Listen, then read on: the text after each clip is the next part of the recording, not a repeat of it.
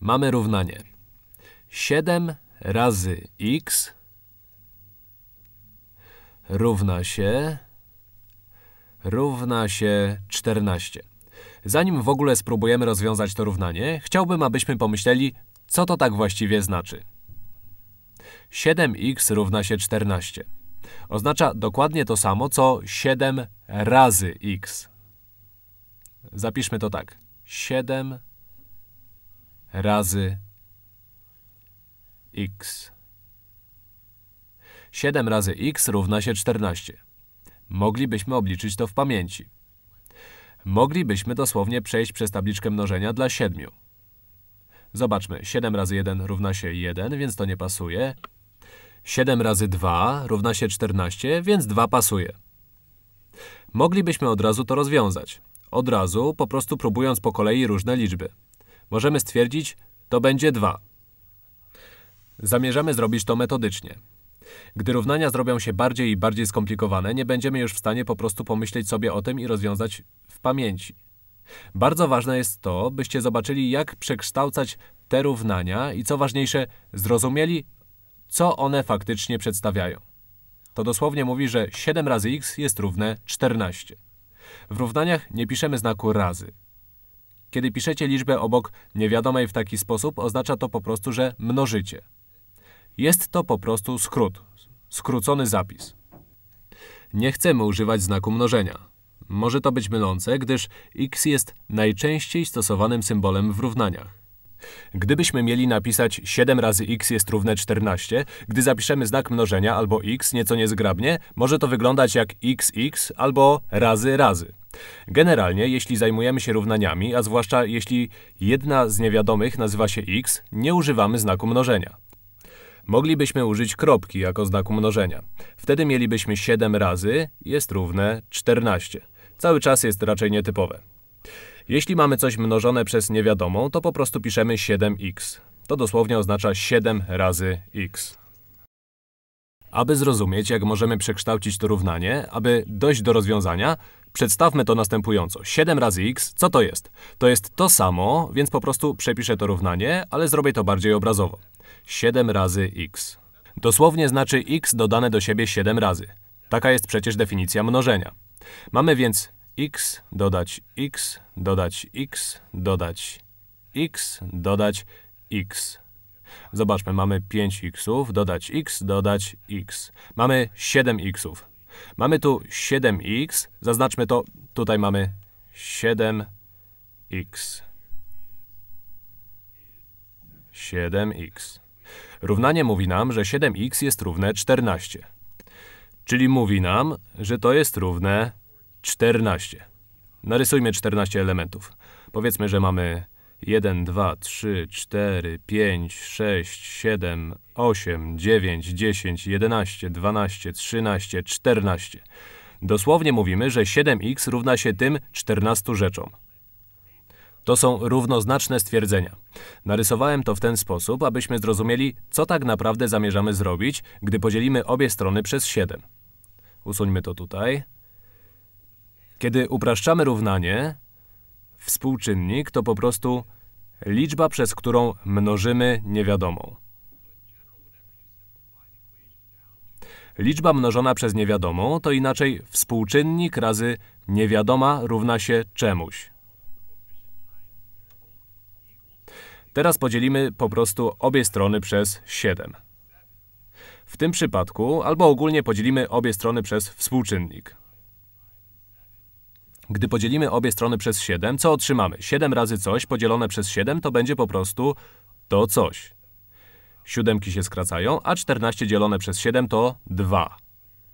Naszym rozwiązaniem będzie x równa się 2. Musimy to poukładać sobie w naszych głowach. Kiedy dzielimy obie strony równania przez 7, dosłownie dzielimy obie strony przez 7. Mamy równanie. To mówi, że to jest równe temu. Cokolwiek robię z lewą stroną, muszę też zrobić z prawą. Nie mogę wykonać jakiejś operacji tylko na jednej stronie i nadal zachować równość. Jeśli podzielę lewą stronę przez 7, podzielmy to na 7 grup. Mamy tutaj 7 xów. 1, 2, 3, 4, 5, 6, 7. Mamy 1, 2, 3, 4, 5, 6, 7 grup. Gdy podzielimy to na 7 grup, chcemy również podzielić prawą stronę na 7 grup. 1, 2, 3, 4, 5, 6, 7.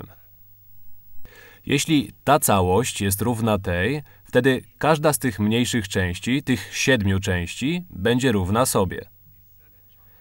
Ta część, można powiedzieć, jest równa tej części. Są one równoznaczne. Mamy 7 części tutaj, 7 części tutaj. x musi być równy dwóm z tych elementów. Mamy x jest równe, w tym przypadku mieliśmy elementy zakreślone tam, gdzie są dwa z nich. x jest równe 2. Zróbmy jeszcze kilka innych przykładów. Musimy załapać, że mamy do czynienia z równością. Jakakolwiek operacja wykonana na jednej stronie równania musi być też wykonana na drugiej. Przewińmy w dół. Mamy, powiedzmy, 3x równa się 15. Tym razem również moglibyśmy obliczyć to w pamięci. Moglibyśmy powiedzieć, że to oznacza 3 razy jakaś liczba jest równe 15. Moglibyśmy skorzystać ze znajomości tabliczki mnożenia i rozwiązać to. Dobrze jest rozumieć, że ta część po lewej jest równa tej po prawej. Co musimy zrobić z tą częścią po lewej, aby został tu tylko x? By mieć tu tylko x, chcemy podzielić to przez 3. Powód, dla którego chcemy to zrobić, wynika z tego, że 3 razy coś dzielone przez 3, trójki się skracają, i zostaje samo x. 3x było równe 15. Jeśli dzielimy lewą stronę przez 3, to aby równość została zachowana, musimy również podzielić prawą stronę przez 3. Co dostaniemy? Po lewej stronie zostanie nam x. Będziemy tam mieli tylko x. Teraz prawa strona. Ile jest 15 dzielone przez 3? To po prostu 5. Można rozwiązać to równanie w inny sposób. Jeśli zaczynamy od 3x jest równe 15, moglibyśmy zamiast dzielić przez 3, moglibyśmy też pozbyć się tej trójki. Jeśli pomnożymy obie strony równania przez 1 trzecią. Jeśli pomnożymy obie strony przez 1 trzecią, powinno też zadziałać. Popatrzmy, 1 trzecia z 3 to 1. Gdy pomnożymy tą część 1 trzecią razy 3, to jest po prostu 1. 1x. 1x jest równe 15 razy 1 trzecia równa się 5. 1 razy x to to samo co x. Mamy x jest równe 5. Są to oczywiście dwie równoważne drogi rozwiązywania. Jeśli podzielimy obie strony przez 3, to jest to równoznaczne mnożeniu obu stron równania przez 1 trzecią. Zróbmy jeszcze jeden bardziej skomplikowany przykład. Zmieńmy troszkę niewiadomą. Powiedzmy, że mamy 2y dodać 4y równa się równa się 18. Teraz widać, że jest już trochę trudniej rozwiązywać to w pamięci. 2 razy coś dodać 4 razy to samo coś ma być równe 18. Trudno wymyślić, jaka to liczba. Można próbować. Powiedzmy, jeśli y byłoby równe 1, mielibyśmy 2 razy 1 dodać 4 razy 1. Cóż, to nie pasuje. Jak można rozwiązać to metodycznie? Moglibyśmy zgadywać i w końcu znaleźć odpowiedź. Ale jak podejść do tego metodycznie? Zobrazujmy to. Mamy 2y. Co to oznacza? Mamy dosłownie 2y dodane do siebie. To dokładnie y dodać y. Potem do tego dodajemy jeszcze 4y. Dodajemy 4y. Dosłownie oznacza to 4y dodane do siebie. y dodać y dodać y. Ma to być równe 18 jest równe 18. Ile y mamy po lewej stronie? Mamy 1, 2, 3, 4, 5, 6 y. Można to uprościć jako 6y równa się 18. Gdy pomyślimy o tym, ma to sens.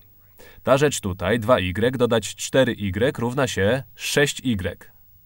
2y dodać 4y to 6y. Jeśli mamy 2 jabłka dodać 4 jabłka, to razem będzie 6 jabłek. Jeśli mamy 2y dodać 4y, to razem będzie 6y. Ma to być równe 18. Mam nadzieję, że wiecie już, jak to rozwiązać.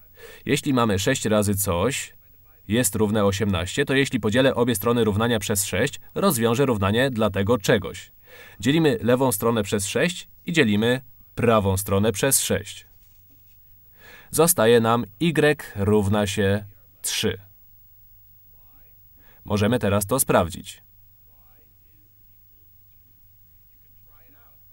W równaniach zawsze możemy sprawdzić, czy otrzymaliśmy poprawny wynik.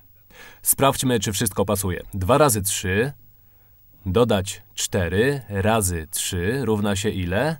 2 razy 3 to 6. Teraz 4 razy 3 jest równe 12. 6 dodać 12 jest równe 18. Wszystko pasuje.